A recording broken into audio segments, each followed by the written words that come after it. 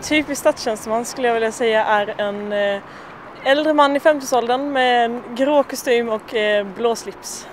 Det är en som följer de riktlinjer som staten har skrivit åt oss och eh, medverkar för att medborgarna ska få det bättre. Man jobbar för medborgarna helt enkelt. En, en människa för människor, skulle jag vilja säga. Det finns så många olika individer som det finns människor. Det tror jag hela befolkningen finns representerad. Det finns något som alla har gemensamt som är den minsta gemensamma nämnare och det är att vi är alla anställda inom staten. I botten så är rollen att vara allmänhetens tjänare på något sätt, att ja. exekvera den lagstiftande makten. Det är en person som jobbar i staten. Både staten är jättestort så det kan, man kan utföra massor med olika arbetsuppgifter. Så, men... Det är en som enligt min åsikt i alla fall gör så gott de kan för att betjäna allmänheten i största möjliga mån. Jag brukar säga det när jag ska vara tråkig, att jag är statstjänsteman och inte officer. Det är det bästa jobb jag någonsin har haft.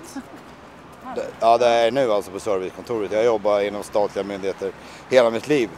Mycket stimulerande och mycket utmanande. Mycket möten med människor och eh, ja, en viss form av byråkrati som man lär sig hantera också. Jag trivs ju bra eftersom jag fortfarande är kvar. Ja. Jag trivs bra. De är stressade jämfört med oss som inte har kundkontakten. Jag är en sån här väldigt social person. Så jag älskar människor. Jag varenda person som jag bemöter, det är en ny upplevelse. Så man vet aldrig, det känns nästan som Lotto.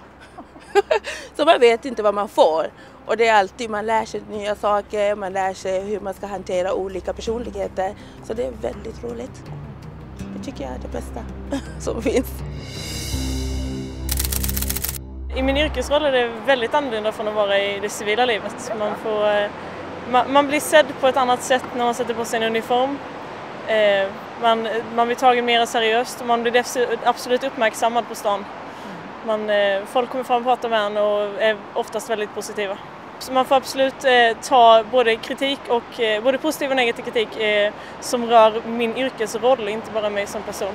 Ibland känns det som att man är lite schizofren. För ibland är det, du är fantastisk, du är duktig, och sen några som ifrågasätter ens kunskaper. Men det är något som man lär sig med yrket, att man ska hantera alla olika personligheter. Man kan sin sak, det är det viktigaste. Man ska kunna sin, sin grej för att kunna förmedla till kunden. Yrkesrollen är ganska mångfacetterad faktiskt. Eh, det handlar om att kunna kliva mellan massa olika roller, alltså medmänniska, byråkrat kanske. Eh, nu är inte jag så byråkratisk av mig men det här jobbet handlar ganska mycket om att vara streetsmart och det kommer man ganska långt med.